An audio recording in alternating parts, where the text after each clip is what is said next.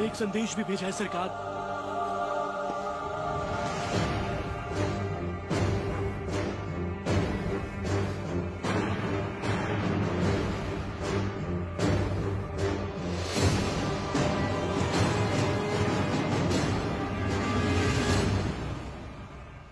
जो हराम के जने रोटियाँ देने वालों के हाथ काट देते हैं, उनके लिए चिट्ठी नहीं चेता। एक आदमी को मारा तो मुझे डाकू कह दिया। अब की बार तीन सौ को मारा है तो समझ जा, ये एक आंदोलन है। स्वतंत्रता के लिए जन जन का आंदोलन। आज के बाद जहाजों में भर के हमारे सफ़ेद कपास विलायत नहीं जाएँगे, तुम्हारी सफ़ेद चमड़ियाँ जाएँगी। अपनी भारत भूमि पर खड़ा मैं तुम्हें सावधान करता हूँ। मेरा देश छोड़कर चले जा वरना युद्ध होगा। तुम्हारा शुभ चिंतक मज्जारी नरसिम्हा रेड्डी।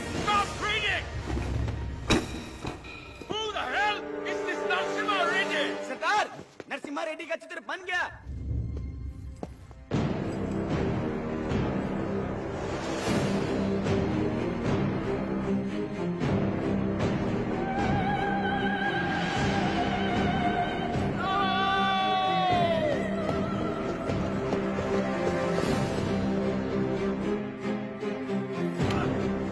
नहीं लिखा है इसमें।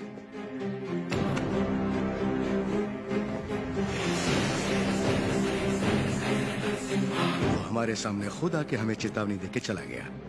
यदि शुरू कर गया है सरकार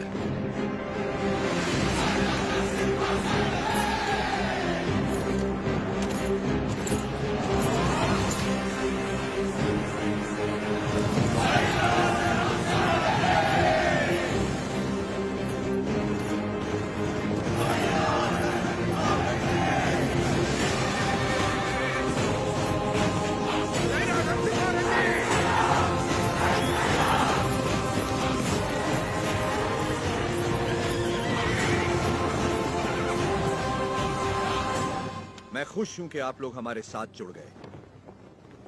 अब हमारा विद्रोह जन जन का आंदोलन बन जाएगा। अब आगे क्या करना है? हम अगर अपने किलों से लड़ते रहे तो इसे पालेगारों का युद्ध कहा जाएगा। लोगों के साथ रहकर लड़ेंगे तो ही ये जन आंदोलन बनेगा। हम प्रजा के साथ ही रहेंगे।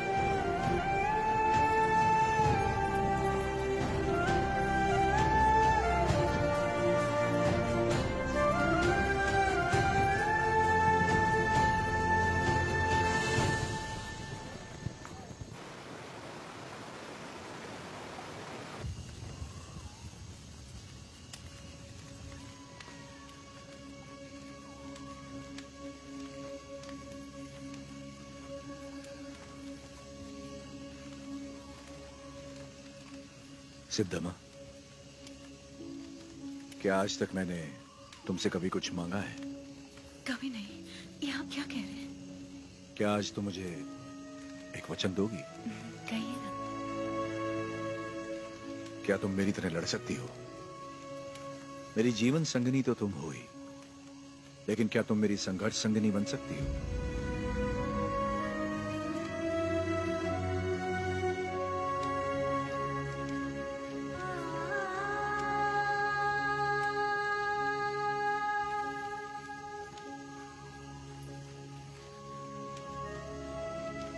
मतलब आप युद्ध करेंगे अंग्रेज़ों से। और मैं जीवन का ये युद्ध बिना आपके लड़ने के लिए तैयार रहूँ। यही।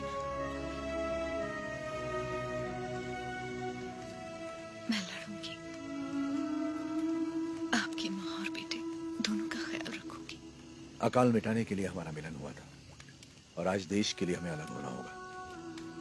मेरे स्वाभिमान और संघर्ष के लिए तुम बचपन से बलिदान देती आ रही हो। इस जन्म के लिए क्या तुम तो मुझे क्षमा कर पाओगे? ये क्या कह रहे हैं? ऐसी बात मत कीजिए।